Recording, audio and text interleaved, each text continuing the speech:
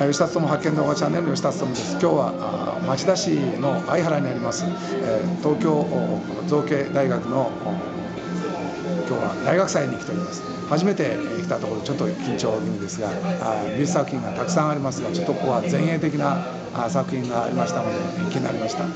絵画ありあるいは工芸的なものがありあるいはこうしたありますかね。と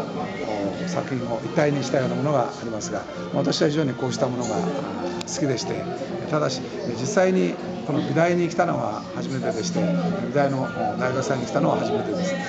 この実を皆さん方は相原でよく見かけますのでどんな人たちがいてどんな作品を作ってるのかなというのが非常に興味がありました。今日多くのところを見てもらって皆さん方にご案内したいと思います。あまりこの作品とこのいでたちが似合いませんがこれは私の制服みたいなものです。終わります。